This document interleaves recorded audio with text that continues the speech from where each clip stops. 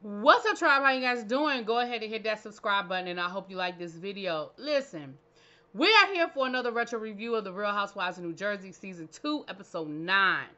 Now, look, y'all. Baby, these... Woo, these next couple of episodes had me going, okay? For those who are new to me, I am watching The Real Housewives of New Jersey for the first time from the beginning. So a lot of this stuff is new to me. It might be old to you. But feel free to leave comments in the, the section. But please don't give me any spoilers, okay? Now, some of y'all told me when I was talking about Danielle and Teresa throwing that uh, last season with Teresa flipping that table, y'all were like, mm-mm, wait till y'all see her. Wait till you see her chasing her around the brownstone. Now, at the time, I thought y'all was talking about a brownstone house. I didn't know y'all was talking about the brownstone. But neither here nor there, child, we are here. So this episode, it starts off with Carolyn filming a scene with two of her other sisters. I honestly feel like this scene was an audition.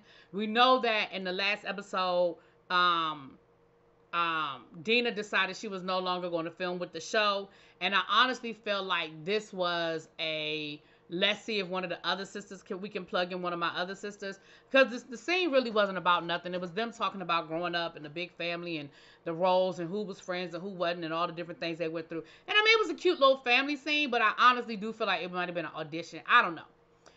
Then we have jacqueline and kim the other kim child uh, the one that owns the boutique uh, posh. I keep calling it porsche but it's posh and teresa and she's letting them know that she's having a fashion show and she wants them to come to the fashion show and she's inviting them to the fashion show. Now listen, I get it that we're making a TV show. But Jacqueline and Teresa, y'all have to know that this woman is on some stuff. Like she keeps playing that back and forth game between Danielle and y'all, and I like Danielle, I don't like Danielle, my boyfriend don't like Danielle, and so she is like, look, I'm, you know, Danielle is just crazy, and I, you know, I want to deal with her and I really want to hang out. I want y'all to be my friend. Basically, I want to be friends with you guys now. So I want you guys to come on down. Um, and of course they accept it, you know, and she says, I have to be honest though. Danielle is probably going to be there because I did invite Danielle. Um, and of course they were kind of like, look, you know, I'll go, you know, I can be in the same room as Danielle. I just don't want to have to deal with Danielle. Now, I found that to be interesting that Teresa was the one that was like, I can be in the same room with her. I just don't feel like I can, I need to deal with her. We'll get to that. So then Danielle shows up to, to Posh with an attitude. She walks in the door. She's rude to the receptionist. She's like, Where is Kim? And the receptionist was like, Um, she's I'll run an errand. She'll be back in a few minutes. And Danielle is like, okay, fine. And she stomps out and she goes out and she's talking about how rude the receptionist is. And the rude, the receptionist put her finger up to her. Girl, she was on the phone. So then she's gonna come back in there and was like, just tell her to call me when she gets back.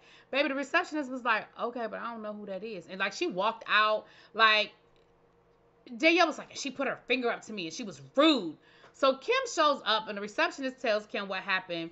And Kim apologizes to the receptionist, like, girl, I'm sorry. Like, you know, I'm sorry she acted like that. So she calls Danielle, and Danielle is talking about how rude the receptionist was and all of that. So Danielle ends up coming back up there and basically telling Kim that she doesn't appreciate the fact that Kim invited Jacqueline and Teresa to the fashion show and how dare she and why would she do that? You're my friend. That's not loyal. You're not loyal to me. I'm gonna be honest. I understand where Danielle is coming from, not from the point of view of trying to control who I spend time with and who my friends are, right? But girl, we had a whole conversation at the beginning of this season where you were like, if somebody got a problem with you, they got a problem with me. And I got your back. And I'm your real friend. And I'm really here for you. And I'm one of the people that's really here for you. And I'm like, so you're really here for her? But you hanging out with the people she got a whole problem with that you see again it would be different if you know she was like look i'm running this business. They're they're they're patrons.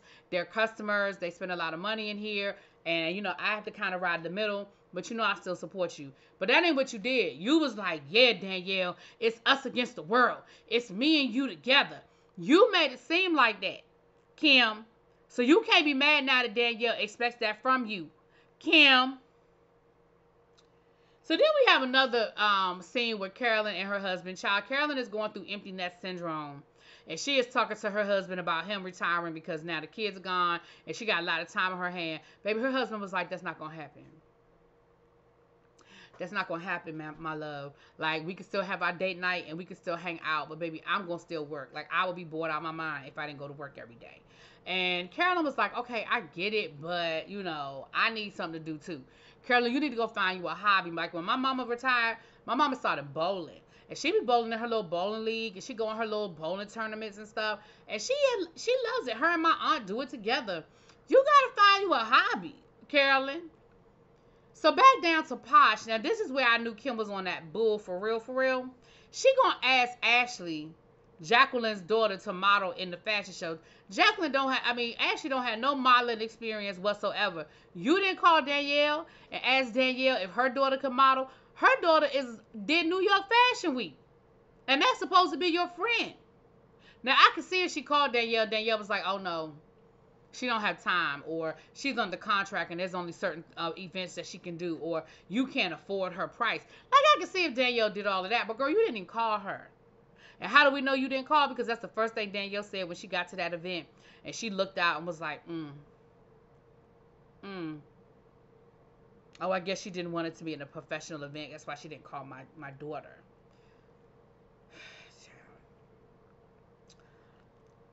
So of course we have to see Danielle going through the whole rigmarole of how she doesn't want to go, she doesn't feel safe, but she's going to go, and her and Kim G, I mean, uh, yeah, Kim G are going to go, or Kim S, one of them Kim's child, and how you know she is to, um, you know, she gonna she gonna she to thug it out.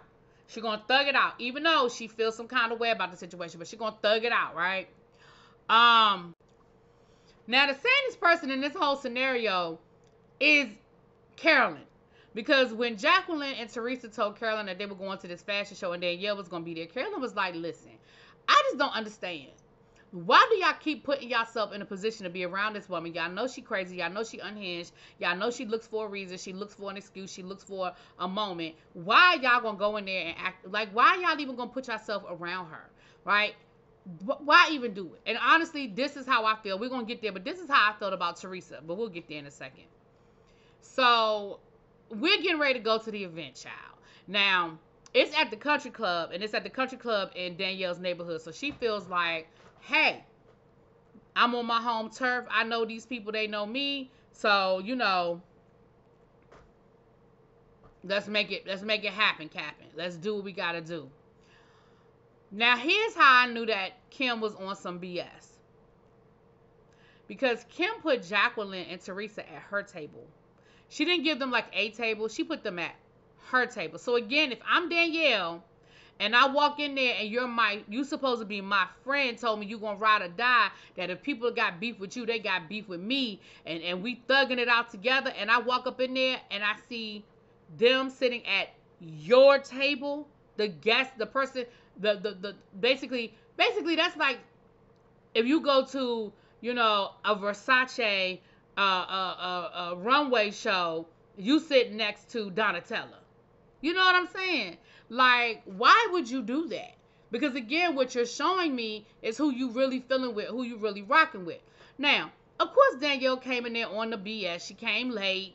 And then she sat at the table, like pretending like she was on her phone, like she was so uninterested. But what ends up happening is Teresa ends up staring down Danielle, and Danielle ends up staring down Teresa and Jacqueline, and they're staring each other down from across the room, right? Now, was Danielle passive aggressive? She was. But Danielle didn't bother them women. She didn't get up. She didn't walk over there. She didn't say nothing as they're outside, Teresa decides, I'm going to talk to her because I don't understand what her problem is.